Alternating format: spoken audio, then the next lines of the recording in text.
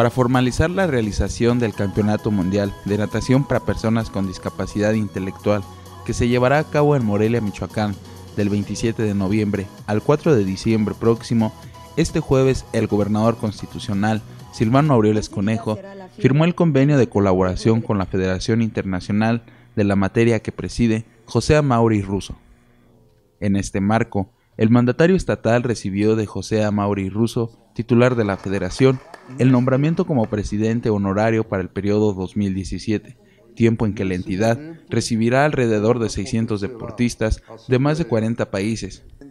Aureoles Conejo destacó que su gobierno ha priorizado todo tipo de acciones para promover la inclusión de las personas que cuenten con discapacidad. Déjenme decirles que me da mucho gusto que se concrete esta firma y a la vez me sorprende la rapidez con que se pasó el tiempo. Nos reunimos con eh, el profesor Amauri el 16 de junio del año 2016. Eh, en ocasión de su visita a México y en particular a Michoacán para concretar el acuerdo de la realización de, este, de esta competencia internacional en Morelia específicamente.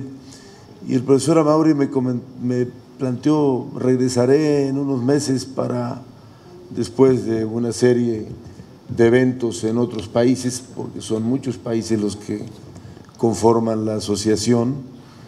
Después de varias reuniones regresaré a México para firmar el acuerdo y concretar el compromiso para la realización de este encuentro deportivo.